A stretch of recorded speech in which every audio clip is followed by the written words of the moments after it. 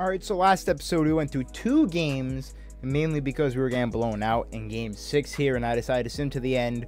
I have the stats here send you 2K. We're going to put in, but I had 39 points, 9 rebounds, 7 assists. I ended up simming to the end. And in game six, I ended up having 52 points, 6 rebounds, 14 assists, and 5 steals to force a game seven. Here are the stats from game five. Uh, we did not get the win, so we're going to accept that. 39 points. Now I got to put the stats in for game six. All right, and here are the stats for game seven. I had 52 points, six rebounds, 14 assists, and five steals. We did get the win. Going to accept that. And now we are heading into a game seven winner. We'll take on the San Antonio Spurs in the NBA Finals. And I'm not going to lie, we can't even take care of the Cavs. If we make it to the finals, we're probably getting swept. All right, it's time for the two best words in sports. Game seven, the first game seven of Cedric Lewis's young career.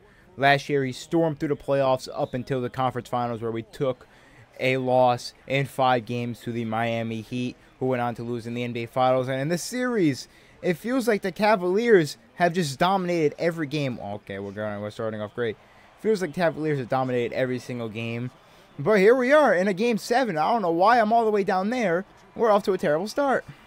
All right, we're off to an 0 for 4 start with two turnovers so far, so this is going great. And if you forgot last episode, uh, Darius Garland is out for the year, so they are starting John Wall at the starting point guard position, and they are off to a 9 nothing run to start off this game, and that should end it.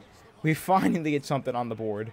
And after a 9-0 run, we have gone on a 12 to 2 run ourselves, and that is going to force the Cavaliers into a time out.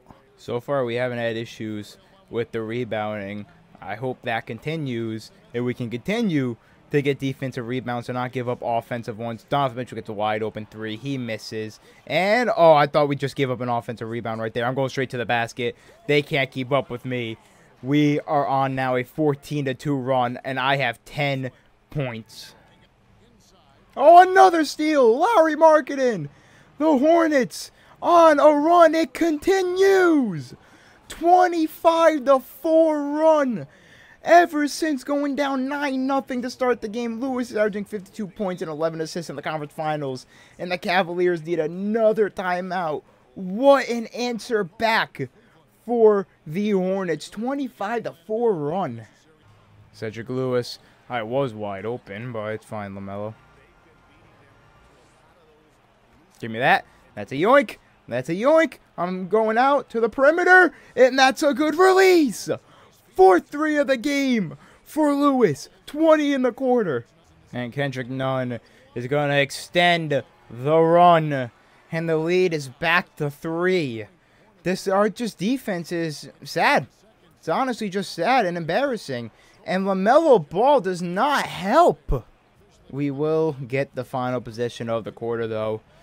God, my my time of LaMelo Ball it's it's slowly going down. It is slowly going down. Our time together, and Nick Richards is gonna pull that. And we're not even gonna get points to end the quarter as we end it only up by three. We were up by I think 13 at one point. All right, Cedric's getting subbed out to start the second quarter. Up by three. Let's see where a bench unit can do. Up by two. I will definitely take that. We've extended the lead to 11. We've extended the lead to nine. Thanks, Ayton. Uh, but, you know, nine-point lead on this team, I will take any day of the week. I've been pushing the pace, really being aggressive on offense with shots like that. And they've been automatic 30 first half points. 30 out of our 53 points are based off of Cedric Lewis. Actually, more than that, because I do have five assists. I have probably been responsible for probably, I want to say, maybe 45, close to it of our 53 points as Ayton. You got to play some good defense here, and he does. That's great defense by DeAndre Ayton as we now get another rebound. Let's reward the big fella if we can. If we can, we cannot. Uh, Ayton, come back. Come back, come back, come back. We're going to set you another screen. And, of course, I get that animation. I'm just going straight to the rack, and I get fouled. It looks like the Cavaliers are going to run out a majority of this clock to try and take the last shot of the quarter Four seconds left. They're going to have to get a shot off soon, and it's not going to be a good one. Cole Anthony contested. He's going to miss, but Kai Jones gets the offensive rebound. It's blocked. We're going into halftime of Game 7 with a 57-44 lead. Donovan Mitchell is ice cold. Ice cold. And we have been dominating this game. 3 of 12, 1 of 8 for Donovan Mitchell in the game so far. In a Game 7, they have needed Mr. Darius Garland in this one. And they are now in a 19-point deficit. Make that one of nine for Mitchell in the game and I'm going straight, attacking the basket, and I'm going to get fouled once again. We are out rebounding them and out rebounding them on the offensive glass. That is the recipe for success. For success. And uh, right now, we're looking like we are going to punch our ticket to the NBA Finals. We're looking like the 2023 Miami Heat, even though we did not go up 3-0. Uh, we are dominating Game 7. All right, I'm going to sub out here. We have a 16 point lead right now in the third quarter. I'm going to be subbed out to the start of the fourth, and we are up 23 points. This game is more than over. Unless they decide to mount a historic comeback here, I think it's safe to say we're heading to the NBA Finals. And Cedric Lewis will probably be a part of the Charlotte Hornets next season, especially if we make the NBA Finals. But don't let it be um, said that we will be making that saying does not make any sense. We will be making changes in this offseason, win or lose the NBA Finals. Lauri Markkanen is most likely gone. We need a better small forward, and we need more defensive-oriented power forward, seeing that uh, DeAndre Ayton is our starting center, and facing teams like the Cavaliers and stuff like that, and the Spurs, who we're going to have to go up against with Giannis and AD, we're going to need a much better defensive front court than Lauri Markkanen and DeAndre Ayton, because Ayton cannot be our best uh, defensive front court player uh, for us. It just can't happen. It's fitting that Donovan Mitchell hits his first shot of the quarter on LaMelo Ball.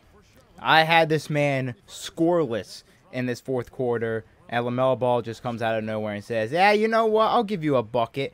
They He played that possession beautifully because I, I saw Jarrett Allen come to guard me, to double team me, and I thought Nick Richards would be open, and he was not. Throw that up. Larry, your ass is gone next season, bro. I need I need someone with a 99. I need Steph Curry on my team. And that's a teammate that will finally be able to shoot threes. Wow, that went right into my hand. What was that? Oh, nope. Okay, they are double teaming the hell out of me. Y'all down by 30. And now you decide to double team me. Come on now. Come on now. I mean, you guys are without Mr. Darius Garland, so I guess that's an excuse you guys get blown out like this. But he wasn't even doing much. Let's be honest, it was really Evan Mobley and Jarrett Allen that just completely, and even Cole Anthony, that completely dominated us. But it looks like the Cavaliers cannot out-rebound their way out of this one as we have had the glass completely covered. And we are going to head to the NBA Finals for the first time in my sh short career. I, it would have been, not, what are you doing, Markkanen? That's the shot you hit? All right, I'm just going to run out the clock here. I'll probably get another shot off just because, I mean, we gotta. And, yep. Oh, I'm getting fouled. Come on, man. I don't want to end this off on free throws. But the Charlotte Hornets are heading to the NBA Finals on the back of Cedric Lewis's 52 points, 6 rebounds, 12 assists, and probably like 3 steals. I forget how many steals I had. And the Cavaliers, who felt like they were dominating the series, throughout six of these games fall short, losing in embarrassing fashion in a 35 point loss here on their home court. And the Hornets are heading to the finals for, I don't even know, the second or third time in franchise history, maybe the first. I really don't know. I know it's the first time in the past like decade, past decade. But the Hornets and Cedric Lewis will meet Giannis, AD, and the San Antonio Spurs and the first time we played them, them in this season, they blew us the hell out. And they'll represent the East in a final series that's mere days away. And so this one is in the books. We hope you've enjoyed being with us for the and would you look at that? We actually get to see the celebration, unlike in my career. And would you look at this? For once, it's not my team, and it's not me dropping a boatload of points and having my teammates not show up. Look at this, dude. 25 points for Evan Mobley. He absolutely dominated this game. I mean, you can't say much for him. How young he is. He just won. No, Darius Garland. Did he win? Did Mobley win the MVP or did Garland win the MVP? Mobley. So the MVP showed out in this series, and then Donovan Mitchell, where they needed him the most, he was absolute dog water in this series, shooting under 50% in every single game but one. That's bad. And that's really bad. 10 points, 4 of 19 shooting, 1 of 12 from 3. I had this man in hell.